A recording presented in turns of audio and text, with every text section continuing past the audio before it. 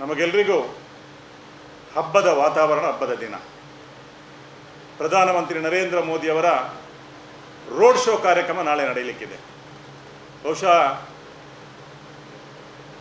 ಬ್ರಹ್ಮಶ್ರೀ ನಾರಾಯಣಗುರು ವೃತ್ತ ಲೇಡಿ ಹಿಲ್ನಿಂದ Navabharat circle T Raman Pai ಹಾಲ್ನ ತನಕ ಒಂದು ದೊಡ್ಡದಾದಂತಹ ಶೋಭಾಯಾತ್ರೆ ಅಥವಾ ರೋಡ್ ಶೋ ನಡೆಯುತ್ತದೆ. ಜಿಲ್ಲೆಯ ಮೂಲೆ ಮೂಲೆಗಳಿಂದ ಸಹಸ್ರ ಸಹಸ್ರ ಸಂಖ್ಯೆಯಲ್ಲಿ ಬಂದು ಮಾನ್ಯ ದೇವಮಾನವ, ನಮ್ಮೆಲ್ಲರ ನಾಯಕ, ವಿಶ್ವನಾಯಕ ನರೇಂದ್ರ ಮೋದಿಜಿಯವರನ್ನು ಹತ್ತಿರದಿಂದ ತಾವು ನೋಡಬೇಕು, ಅವರಿಗೆ ಹರಸಬೇಕು, ಆಶೀರ್ವದಿಸಬೇಕು ಅಂತ ನಾನು ಈ ಸಂದರ್ಭದಲ್ಲಿ ಜನತೆಯ ಪರವಾಗಿ ಕೇಳಿಕೊಳ್ತಾ ಇದ್ದೇನೆ. ನಮಸ್ಕಾರ. ಮುಲ್ಕಿಯಲ್ಲಿ ನಾನು ಹೇಳಿಕೆ ಕೊಟ್ಟದ್ದು ಬಿಲ್ಲವ ರಾಷ್ಟ್ರೀಯ ಸಮಾವೇಶದಲ್ಲಿ. ಬಿಲ್ಲವ ರಾಷ್ಟ್ರೀಯ ಸಮಾವೇಶದಲ್ಲಿ ಜಾತಿಯ ಬಗ್ಗೆ ಮಾತಾಡಬೇಕಾದದ್ದು ನನ್ನ ಕರ್ತವ್ಯ, ಒಬ್ಬ ಸಮಾಜದ ಒಬ್ಬ ಪ್ರತಿನಿಧಿಯಾಗಿ. ಇಲ್ಲಿ ನಾನು ಮಾತಾಡಬೇಕಾದದ್ದು ಭಾರತೀಯ ಜನತಾ ಪಾರ್ಟಿಯ ಒಬ್ಬ ಸಾಮಾನ್ಯ ಕಾರ್ಯಕರ್ತನಾಗಿ, ಶಿಸ್ತಿನ ಸಿಪಾಯಿಯಾಗಿ, ರಾಷ್ಟ್ರೀಯ ಸೇವ, ಸ್ವಯಂ ಸೇವಕ ಸಂಘದ ಒಬ್ಬ ಸ್ವಯಂ ಸೇವಕನಾಗಿ ನಾನು ಮಾತಾಡ್ತಾ ಇದ್ದೇನೆ ಬಿಲ್ಲವ ಅಭ್ಯರ್ಥಿಗಳಿಗೆ ಬಿಲ್ಲವ ಸಂಘದವರು ಬೆಂಬಲ ಕೊಡಬೇಕಾ ಬೇಡವಾ ಅಂತ ನಿಮ್ಮ ಈಗ ನಿರೀಕ್ಷೆ ಮಾಡ್ತಾ ಇದ್ದೀವಿ ನನಗೆ ಗೊತ್ತಿಲ್ಲ ನಾನು ಇವಾಗ ಬಿಲ್ಲವ ಸಂಘದ ಕಾರ್ಯಕ್ರಮದಲ್ಲಿಲ್ಲ ನಾನು ಭಾರತೀಯ ಜನತಾ ಪಾರ್ಟಿಯ ಪ್ರೆಸ್ ಮೀಟಲ್ಲಿದ್ದೆ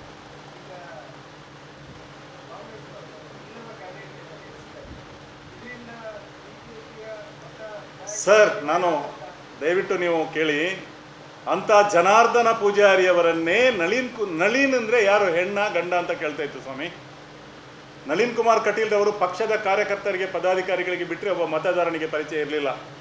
ಇದೇ ಕೇಂದ್ರ ಮೈದಾನದಲ್ಲಿ ಚುನಾವಣೆಯ ಸಂದರ್ಭದಲ್ಲಿ ಪ್ರಥಮವಾಗಿ ಹಿಂದೂ ಸಮಾಜೋತ್ಸವ ಆದಾಗ ನಳಿನ್ ಕುಮಾರ್ ಕಟೀಲ್ರನ್ನ ಕೈಯಲ್ಲಿ ಹಿಡ್ಕೊಂಡು ಒಂದು ಸುತ್ತು ಬಂದಿದ್ದೆ ನಾನು. ಇವರು ನಳಿನ್ ಕುಮಾರ್ ಕಟೀಲ್, ಇವರು ನಳಿನ್ ಕುಮಾರ್ ಕಟೀಲ್ ನಮ್ಮ ಕ್ಯಾಂಡಿಡೇಟ್ ಅಂತ ಹೇಳಿಕೊಂಡು.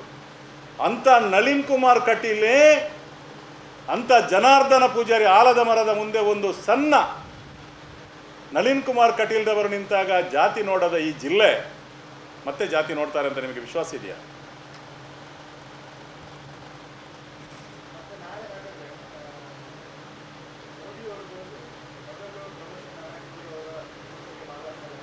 ಇರ್ಬೋದು, ಜಿಲ್ಲೆಯವರು ಖಂಡಿತ ವ್ಯವಸ್ಥೆ ಮಾಡಿದ್ದಾರೆ. ನವಭಾರತ್ ಸರ್ಕಲ್ವರೆಗೆ ಬಂದು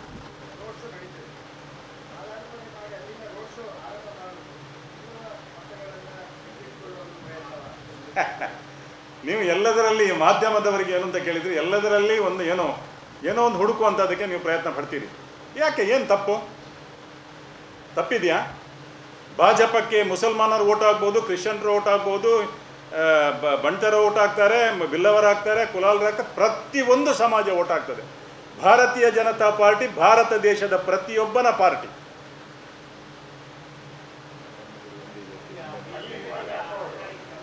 ಬ್ರಹ್ಮಶ್ರೀ ನಾರಾಯಣ ಗುರುಸ್ವಾಮಿ ಒಂದು ಸಂದೇಶವನ್ನು ಕೊಟ್ಟಿದ್ದಾರೆ, ಗೊತ್ತಿರ್ಬೋದು ನಿಮಗೆ. ಒಂದೇ ಜಾತಿ, ಒಂದೇ ಮತ, ಒಂದೇ ದೇವರು. ಅಂತ ಪುಣ್ಯಾತ್ಮನಿಗೆ ಹಾರಾರ್ಪಣೆ ಮಾಡಿ ಬರುವುದೇ ಅವರನ್ನು ಯಾಕೆ ನೀವು ಒಂದು ಜಾತಿ ಅಂತ ನೀವು ತಿಳಿತೀರಿ? ಅವರು ಲೋಕಸಂತ.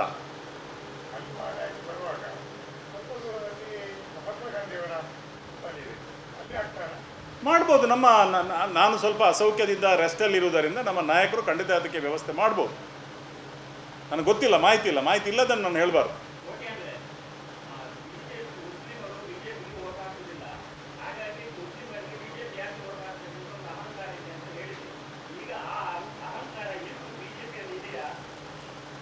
ಮುಸ್ಲಿಮರು ನಮ್ಮ ನಾಯಕರು ತುಂಬ ಜನ ಇದ್ದಾರಲ್ಲ. ಅಬ್ಬಾಸ್ ನಖ್ವಿ ಇರ್ಬೋದು. ಮುಸ್ಲಿಮರನ್ನು ರಾಷ್ಟ್ರಪತಿ ಮಾಡಿದ್ದು ಭಾರತೀಯ ಜನತಾ ಪಾರ್ಟಿ. ಇವತ್ತು ಆಂಧ್ರ ಪ್ರದೇಶದಲ್ಲಿ ಗವರ್ನರ್ ಇರೋದು ನಜೀರ್, ನನ್ನ ಕ್ಷೇತ್ರದವರು. ನಾವು ಮುಸಲ್ಮಾನರು ಕ್ರಿಶ್ಚಿಯನ್ರು, ಹಿಂದೂಗಳು ಅಂತ ನೋಡಲೇ ಇಲ್ಲ. ಭಾರತೀಯ ಜನತಾ ಪಾರ್ಟಿ ಭಾರತ ದೇಶದ ಪ್ರತಿಯೊಬ್ಬನನ್ನ, ಪ್ರತಿಯೊಂದು ಯೋಜನೆಯನ್ನ ಸರ್ವಧರ್ಮ ಸಮಭಾವದ ರೀತಿಯಲ್ಲಿ ನಾವು ನೋಡ್ತೇವೆ. ಮತ್ತೆ ಓಟ್ ಹಾಕುವವರು ಬಿಡುವವರು ಅವರ ಮನಸ್ಸಿಗೆ ಬಿಟ್ಟದ್ದು.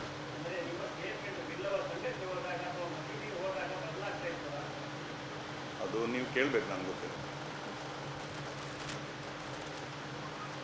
ಓಕೆ ಸರ್ ಥ್ಯಾಂಕ್ ಯು ಸಹಕಾರ ಇರಲಿ ನಮಸ್ಕಾರ. ನಮ್ಮ ಶಾಸಕರಾದ ಕುಮಾರ ಕೋಟ್ಯನವರು ಅವರೊಂದಿಗೆ ಮೇಯರಾದ ಸುಧೀರ್ ಶೆಟ್ಟಿ ಕನ್ನೂರ್ ಮಹಿಳಾ ಪ್ರಮುಖರಾದ ಕಸ್ತೂರಿ ಪಂಜ ಜಿಲ್ಲಾ ಪ್ರಧಾನ ಕಾರ್ಯದರ್ಶಿಯಾದ ಯತೀಶ್ ಜಿಲ್ಲಾ ಚುನಾವಣಾ ಸಂಚಾಲಕರಾದ ನಿತಿನ್ ಕುಮಾರ್ ಮಂಡಲ ಅಧ್ಯಕ್ಷರು ಅಧ್ಯಕ್ಷರಾದ ಯುವ ಮೋರ್ಚಾದ ಅಧ್ಯಕ್ಷರಾದ ನಂದನ್ ಮಲ್ಯ ಹಾಗೂ ಮಹಿಳಾ ಮೋರ್ಚಾದ ಅಧ್ಯಕ್ಷರಾದ ಮಂಜುಳಾರಾವ್. ಮಂಜುಳಾ. ಈಗ ಪತ್ರಿಕಾಗೋಷ್ಠಿಯನ್ನು ಅಮರನಾಥ ಕೋಟೆಯನ್ನು ಎಲ್ಲ ಕ್ಷೇತ್ರದ ಶಾಸಕರು ಚುನಾವಣೆ ಈ ಸಂದರ್ಭದಲ್ಲಿ ಪತ್ರಿಕಾಗೋಷ್ಠಿಯನ್ನು ಕರೆದು ಮಾತಾಡಿದ್ದಾರೆ. ನಾನು ಸ್ವಲ್ಪ ಅಸೌಖ್ಯದಿಂದ ಇದ್ದುದರಿಂದ ಸುಮಾರು ಏಳೆಂಟು ಹತ್ತು ದಿನದಿಂದ ಸ್ವಲ್ಪ ರೆಸ್ಟ್ ಮಾಡ್ತಾ ಇದ್ದೆ. ಆದ್ದರಿಂದ ಚುನಾವಣೆಯ ಕಾರ್ಯಕ್ರಮದಲ್ಲಿ ಹೆಚ್ಚಾಗಿ ಭಾಗವಹಿಸಲಿಕ್ಕೆ ನನಗೆ ಆಗಲಿಲ್ಲ. ಹಾಗಾಗಿ ಇವತ್ತು ನಾನು ನಮ್ಮ ಜಿಲ್ಲಾಧ್ಯಕ್ಷರು ಮತ್ತು ನಮ್ಮ ಚುನಾವಣಾ ಉಸ್ತುವಾರಿಯಾದಂಥ ನಿತಿನ್ ಕುಮಾರ್ ಅವರ ಹತ್ರ ಹೇಳಿದ ಒಂದು ಪತ್ರಿಕಾಗೋಷ್ಠಿಯನ್ನು ಕರೆಯುವಂಥ ವ್ಯವಸ್ಥೆ ಮಾಡಿ ಅಂತ ಹೇಳಿಕೊಂಡು ಅದಕ್ಕಾಗಿ ಇವತ್ತು ನಿಮ್ಮ ಮುಂದೆ ಬಂದಿದ್ದೇನೆ.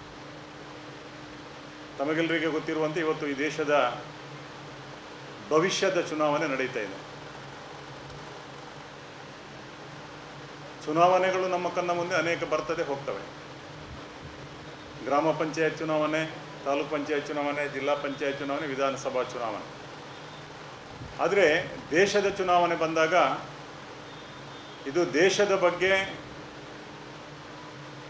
ರಾಷ್ಟ್ರೀಯತೆಯ ಬಗ್ಗೆ, ದೇಶದ ನಾಯಕತ್ವದ ಬಗ್ಗೆ ಚಿಂತನೆ ಮಾಡಿಕೊಡುವಂತಹ ಮತ. ಇಲ್ಲಿ ಅಭ್ಯರ್ಥಿಗಿಂತಲೂ ಪಕ್ಷ ಮತ್ತು ಪಕ್ಷದ ನಾಯಕತ್ವ ಬಹಳ ಪ್ರಮುಖ ಸ್ಥಾನವನ್ನು ಪಡೆಯುತ್ತದೆ. ಇವತ್ತು ನಮಗೆಲ್ಲರಿಗೆ ಗೊತ್ತಿರುವಂತೆ ಕಳೆದ ಸ್ವಾತಂತ್ರ್ಯ ಸಿಕ್ಕಿ ಒಂದು ಎಪ್ಪತ್ತೇಳು ಎಪ್ಪತ್ತೆಂಟು ವರ್ಷಗಳಿಂದ ಸುಮಾರು ಅರುವತ್ತು, ಅರವತ್ತೈದು ವರ್ಷ ಈ ದೇಶವನ್ನು ಆಳಿದಂತಹ ಕಾಂಗ್ರೆಸ್ ಪಕ್ಷ ನಾವೆಲ್ಲ ಬಾಲ್ಯದಲ್ಲಿ ಸಣ್ಣದಿರುವಾಗ ಕಾಂಗ್ರೆಸ್ಸಿನಲ್ಲಿ ಒಂದು ಮರವನ್ನು ನಿಲ್ಲಿಸಿದರೂ ಗೆಲ್ತದೆ ಎಂಬ ಒಂದು ವಿಶ್ವಾಸ ಅಂದಿನ ದಿನ ಜನರಲ್ಲಿತ್ತು, ಮತದಾರರಲ್ಲಿತ್ತು.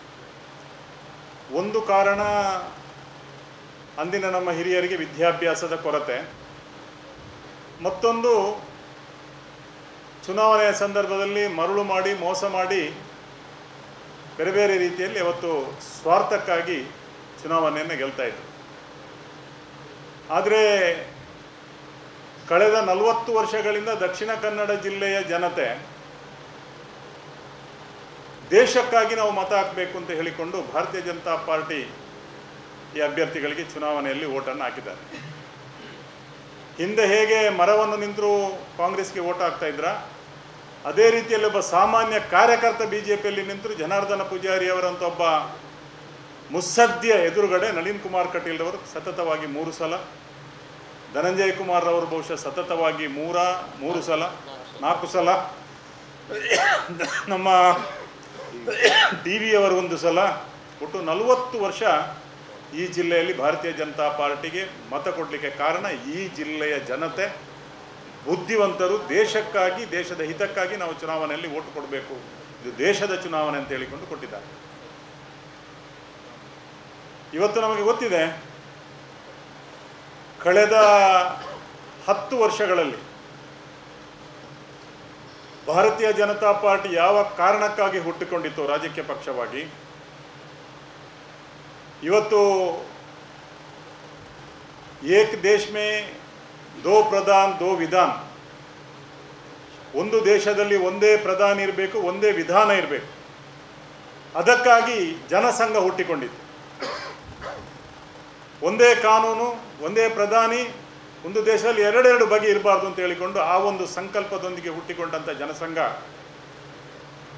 ಯಾವ ಮಾತನ್ನು ಅವತ್ತು ಕೊಟ್ಟಿತೋ ಅದನ್ನು ಭಾರತ ದೇಶದಲ್ಲಿ ಬಹುಮತದಿಂದ ಆಡಳಿತಕ್ಕೆ ಬಂದಾಗ ಕಳೆದ ಹತ್ತು ವರ್ಷಗಳಲ್ಲಿ ನಮ್ಮ ನರೇಂದ್ರ ಮೋದಿ ಹಂತ ಹಂತವಾಗಿ ಕೊಟ್ಟಂತಹ ಭಾಷೆಯನ್ನು ಯಾವ ಉದ್ದೇಶಕವಾಗಿ ಉದ್ದೇಶಕ್ಕಾಗಿ ಪಕ್ಷ ಬಂತು ಆ ಉದ್ದೇಶದ ಪ್ರತಿಯೊಂದು ಹಂತವನ್ನು ಇವತ್ತು ನಾವು ಮಾಡುತ್ತಾ ಬಂದಿದ್ದೇವೆ. ಪ್ರಧಾನಮಂತ್ರಿ ನರೇಂದ್ರ ಮೋದಿಜಿಯವರು ಬಹುಮತದ ಸರ್ಕಾರದೊಂದಿಗೆ ಮಾಡುತ್ತಾ ಬಂದಿದ್ದಾರೆ.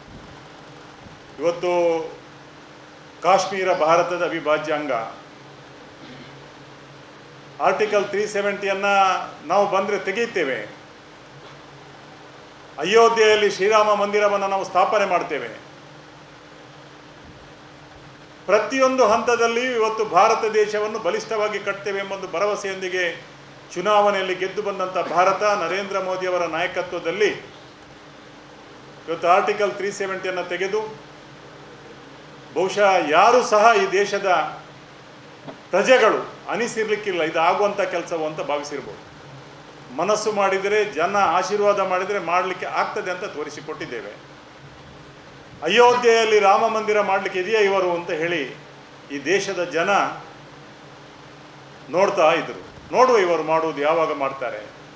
ನೀವು ಆಶೀರ್ವಾದ ಮಾಡಿ, ಬಹುಮತದಿಂದ ನಮಗೆ ಆಶೀರ್ವಾದ ಮಾಡಿ ನಮ್ಮ ಸರ್ಕಾರ ಕೇಂದ್ರದಲ್ಲಿ ಬರಲಿ ಮಾಡಿ ತೋರಿಸ್ತೇವೆ ಅಂತ ಹೇಳಿದ್ದೇವೆ. ಇವತ್ತು ನಾವು ಮಾಡಿ ತೋರಿಸಿದರೆ ರಾಮ, ರಾಮಲಲ್ಲನ ಪ್ರತಿಷ್ಠಾಪನೆ ಆಗಿದೆ.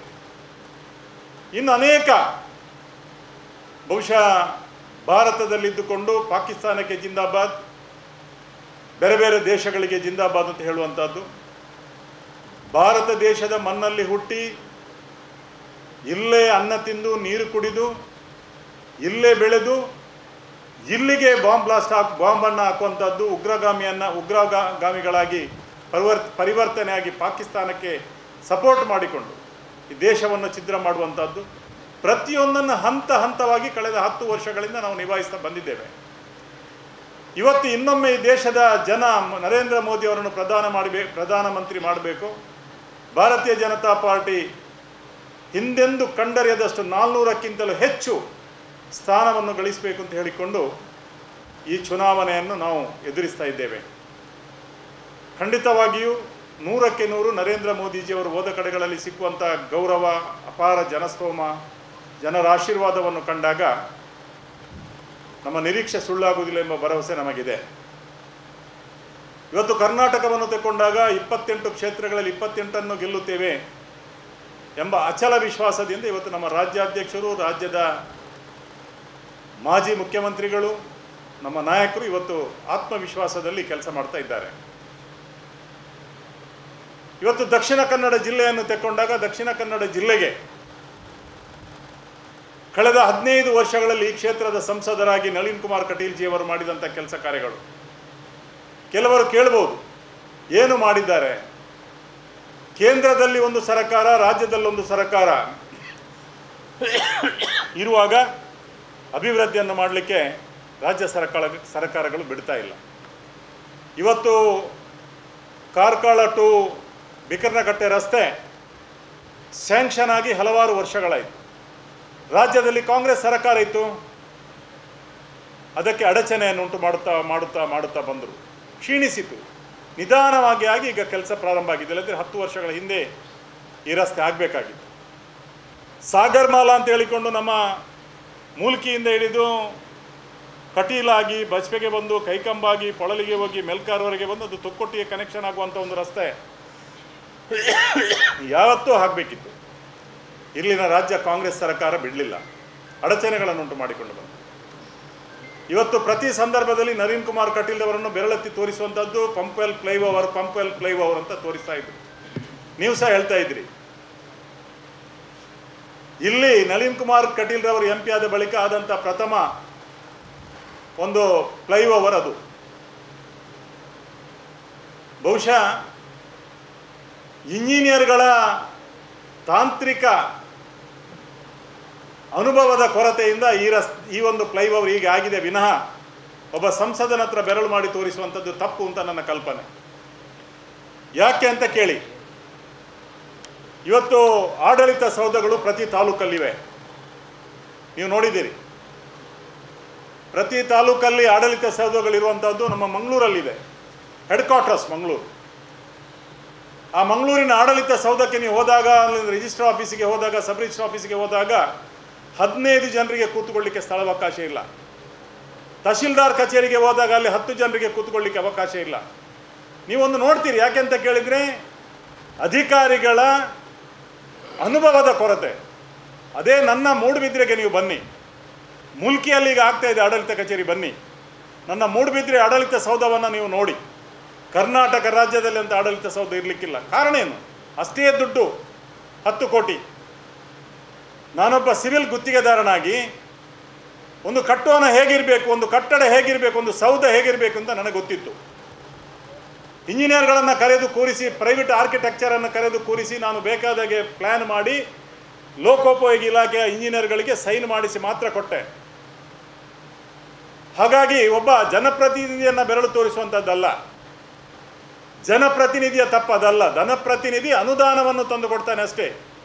ಅದನ್ನು ಸರಿಯಾಗಿ ಹಂಚಿ, ಅದನ್ನು ಸರಿಯಾದ ವ್ಯವಸ್ಥಿತ ರೀತಿಯಲ್ಲಿ ಮಾಡಬೇಕಾದದ್ದು ಅಧಿಕಾರಿಗಳ ಕೆಲಸ.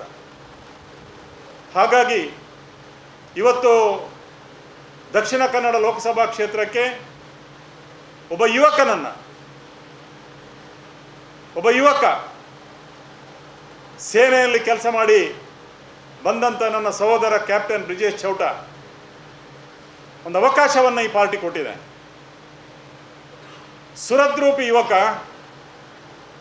ಆಂಗ್ಲ ಭಾಷೆ, ಹಿಂದಿ ಭಾಷೆಯನ್ನು ಸುಲಲಿತವಾಗಿ ಮಾತಾಡಬಲ್ಲ, ಬರೆಯಬಲ್ಲ ಒಬ್ಬ ಯುವಕ, ಸುಮಾರು ನಾಲ್ಕು ಭಾಷೆಗಳ ಪ್ರಾವೀಣ್ಯತೆಯನ್ನು ಉಳ್ಳಂಥ ಒಬ್ಬ ಬಾಲಕ, ಯುವಕ. ಆತನನ್ನು ಇವತ್ತು ನಮ್ಮ ಕ್ಷೇತ್ರದ ಲೋಕಸಭಾ ಕ್ಷೇತ್ರದ ಭಾಜಪದ ಅಭ್ಯರ್ಥಿಯನ್ನಾಗಿ ನಮಗೆ ಪಕ್ಷ ಕೊಟ್ಟಿದೆ. ನಾಮಪತ್ರ ಹಾಕಿದ್ದಾರೆ. ಬಹುಶಃ ಹಿಂದೂ ಸಮಾಜೋತ್ಸವಕ್ಕೆ ಯಾವ ರೀತಿಯಲ್ಲಿ ಜನ ಸಾಗರ ಸೇರ್ತಾ ಇದೆ, ಅದೇ ರೀತಿಯಲ್ಲಿ ಬ್ರಜೇಶ್ ಶೌಟ್ ಅವರವರ ನಾಮಪತ್ರದ ದಿವಸ ಒಂದು ಹಿಂದೂ ಸಮಾಜೋತ್ಸವದ ಮೆರವಣಿಗೆಯ ಶೋಭಾಯಾತ್ರೆಯ ಕಣ್ ಆ ರೀತಿಯಲ್ಲಿ ಜನಸ್ತೋಮ ಸೇರಿ ಅವರಿಗೆ ಬೆಂಬಲವನ್ನು ಘೋಷಣೆ ಮಾಡಿದೆ. ಖಂಡಿತವಾಗಿಯೂ ದಕ್ಷಿಣ ಕನ್ನಡ ಜಿಲ್ಲಾ ಲೋಕಸಭಾ ಅಭ್ಯರ್ಥಿ ಕ್ಯಾಪ್ಟನ್ ಬ್ರಿಜೇಶ್ ಚೌಟ, ಜಿಲ್ಲೆಯ ನಮ್ಮ ನಾಯಕರ, ಜಿಲ್ಲೆಯ ನಮ್ಮ ಪದಾಧಿಕಾರಿಗಳ, ಪ್ರತಿ ಮಂಡಲದ ಅಧ್ಯಕ್ಷರ ಪದಾಧಿಕಾರಿಗಳ ಶಕ್ತಿ ಕೇಂದ್ರ, ಮಹಾಶಕ್ತಿ ಕೇಂದ್ರ, ಬೂತ್ ಮಟ್ಟದ ಕಾರ್ಯಕರ್ತರ ಪ್ರಯತ್ನದಿಂದ ನಮ್ಮೆಲ್ಲ ಕಾರ್ಯಕರ್ತರ ಪ್ರಯತ್ನದಿಂದ ಕಳೆದ ಅವಧಿಗಿಂತಲೂ ಹೆಚ್ಚು ಅಂತರದಲ್ಲಿ ಲೀಡಲ್ಲಿ ನಾವು ಈ ಸಲ ಇಲ್ಲಿ ಗೆಲ್ತೇವೆ ಎಂಬ ವಿಶ್ವಾಸ ನಮಗೆಲ್ಲರಿಗಿದೆ ಇವತ್ತು ಯಾವುದೇ ಗೊಂದಲಗಳು ನಮ್ಮ ಜಿಲ್ಲೆಯಲ್ಲಿ ಇಲ್ಲ. ನನ್ನ ಮುಲ್ಕಿ ಮೂಡುಬಿದ್ರೆ ಕ್ಷೇತ್ರದಲ್ಲಿ ಕಳೆದ ಅವಧಿ, ಕಳೆದ ಲೋಕಸಭಾ ಚುನಾವಣೆಯಲ್ಲಿ ನಳಿನ್ ಕುಮಾರ್ ಅವರಿಗೆ ಮೂವತ್ತು ಸಾವಿರ ಲೀಡನ್ನು ನಾವು ಕೊಟ್ಟಿದ್ದೆವು. ಈ ಸಲ ನಾವು ಐವತ್ತು ಸಾವಿರ ಲೀಡನ್ನು ಕೊಡಬೇಕು ಅಂತೇಳಿ ನಮ್ಮ ಎಲ್ಲ ಕಾರ್ಯಕರ್ತರಿಗೆ ಸೂಚನೆಯನ್ನು ಕೊಟ್ಟಿದ್ದೇವೆ, ಅದೇ ರೀತಿಯಲ್ಲಿ ಕೆಲಸ ಕಾರ್ಯಗಳು ಆಗ್ತಾ ಇವೆ. ಆ ನಿಟ್ಟಿನಲ್ಲಿ ಇವತ್ತು ಬಲಿಷ್ಠ ಭಾರತದ ನಿರ್ಮಾಣಕ್ಕೆ, ಭಾರತ ವಿಶ್ವಗುರು ಆಗಲಿಕ್ಕೆ, ಪ್ರತಿಯೊಂದು ಹಂತ ಹಂತಗಳಲ್ಲಿ ಇವತ್ತು ಮೇಲೆ ಬರುತ್ತಿರುವಂಥ ಈ ಸಂದರ್ಭದಲ್ಲಿ ಮತ್ತೊಂದು ಅವಧಿಗೆ ಈ ದೇಶದ ಮಹಾನ್ ಚೇತನ, ಮಹಾನ್ ಮುತ್ಸದ್ದಿ ಅಪ್ರತಿಮ ಆಡಳಿತಗಾರ ನರೇಂದ್ರ ಮೋದಿಯವರು ಇನ್ನೊಮ್ಮೆ ಪ್ರಧಾನಿ ಆಗಬೇಕು ಅಂತ ಹೇಳಿಕೊಂಡು ಒಂದು ಮಗುವಿನಲ್ಲಿ ಕೇಳಿದ್ರು, ಮೋದಿ ಮೋದಿ ಮೋದಿ ಅಂತ ಹೇಳುವಂಥ ಈ ಸಂದರ್ಭದಲ್ಲಿ ನನ್ನ ದಕ್ಷಿಣ ಕನ್ನಡ ಜಿಲ್ಲೆ ಲೋಕಸಭಾ ಕ್ಷೇತ್ರದ ಎಲ್ಲ ಮತದಾರ ದೇವರುಗಳಲ್ಲಿ ನನ್ನ ವಿನಮ್ರ ವಿನಂತಿ, ಅದರಲ್ಲಿ ಯುವಕರಲ್ಲಿ ನಮ್ಮ ಭಾರತೀಯ ಜನತಾ ಪಾರ್ಟಿಯ ನೆಚ್ಚಿನ ಅಭ್ಯರ್ಥಿ ಕ್ಯಾಪ್ಟನ್ ಬ್ರಿಜೇಶ್ ಚೌಟರನ್ನು ಅತ್ಯಂತ ಬಹುಮತದಿಂದ ಗೆಲ್ಲಿಸಿ ಲೋಕಸಭೆಗೆ ಕಳಿಸಬೇಕು. ಆ ಬಳಿಕ ಅವರಿಂದ ನಾವು ಒಳ್ಳೆಯ ಕೆಲಸವನ್ನು ನಮ್ಮ ಜಿಲ್ಲೆಗೆ ತೆಗೆದುಕೊಳ್ಬೇಕು ಅಂತ ಈ ಸಂದರ್ಭದಲ್ಲಿ ಹೇಳುತ್ತಾ ತಮ್ಮ ಏನಾದರೂ ಕೇಳಿಕೆಗಳಿದ್ರೆ ಅದಕ್ಕೆ ನಾನು ಉತ್ತರ ಕೊಡಲಿಕ್ಕೆ ತಯಾರಿದ್ದೇನೆ ಅಂತ ಹೇಳುತ್ತಾ?